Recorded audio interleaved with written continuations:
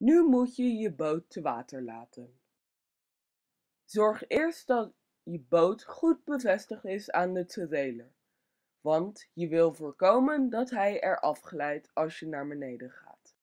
Rij dan langzaam je boot de trailerhelling naar beneden. Zorg wel dat de punt altijd in de wind blijft.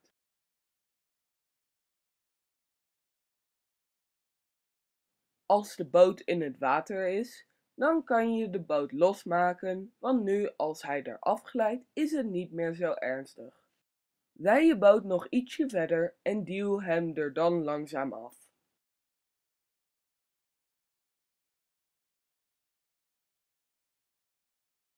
Als de boot helemaal van de trailer af is, dan rij je de trailer ietsje omhoog.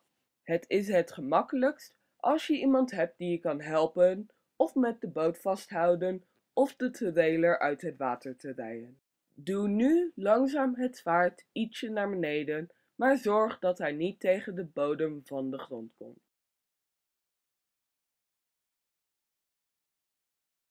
Als je dit gedaan hebt, draai je je boot langzaam om, zodat hij voor de wind ligt of in de richting waarheen je wil varen. Ga nu achter je boot staan en duw één keer hard af en spring dan op de boot. Nu kan je wegvaren. Bij diep water duw je je zwaard en roer helemaal naar beneden.